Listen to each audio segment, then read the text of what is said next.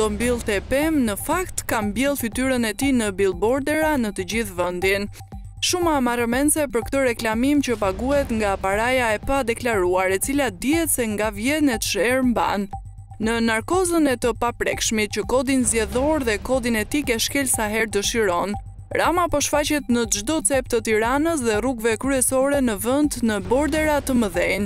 Ligji zgjedhor e ka të qartësuar se nuk lejohet asnjë fletëpalosje, afishe dhe billbordera në vlerën e më shumë se pesë mijë lekëve.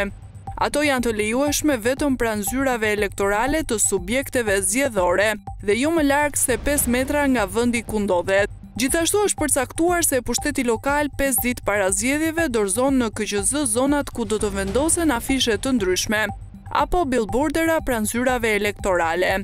Teksa etika dhe ligji është një pemë që kurrë nuk rritet brenda Rilindjes, dyshimi i madh mbetet për shumat e frikshme që paguan për shfaqjen e Ramës në afishe moderne me kosto të lartë. Vetëm për një billborder me përmasa të vogla reklamimi shkon deri në katërqind euro dita. E ndërsa paraja e pistë kuron imazhin e Ramës dhe diskriminon kundërshtarët politikë, qytetarëve u ofrohet tjetër propagandë duke besuar në surrealen se PS po bën një fushatë të varfër. Madje edhe me paratë që ligjërisht duhet të përdoren për fushatë ai po i kthen në investime publike në mbjelljen e pemëve të arta nga duart e deputetëve, vetë Ramës, ministrave dhe kandidatëve për kryebashkiakë.